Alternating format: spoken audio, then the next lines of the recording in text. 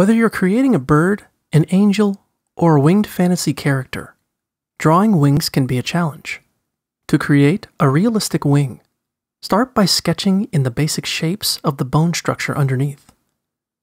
Make a ball for the shoulder joint. Then sketch the upper arm and forearm in a wide V shape.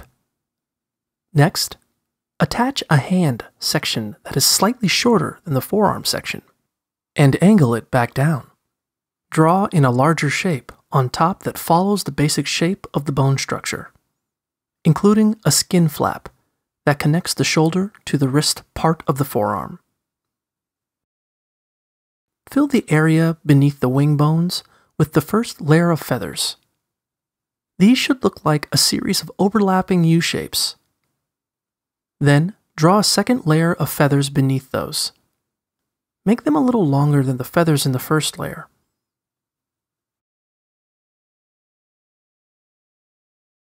Finally, add a layer of longer flight feathers. These will extend out beyond the end of the wing and make it look more elongated.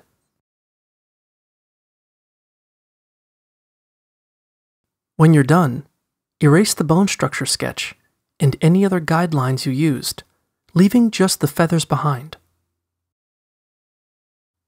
You can also shade or color your wing if you like.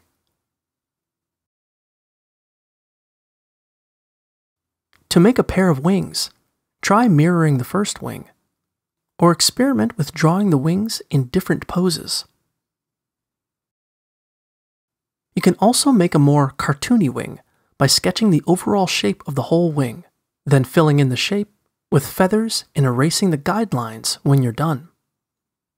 However you do it, remember to start with two to three rows of shorter feathers at the top of the wings.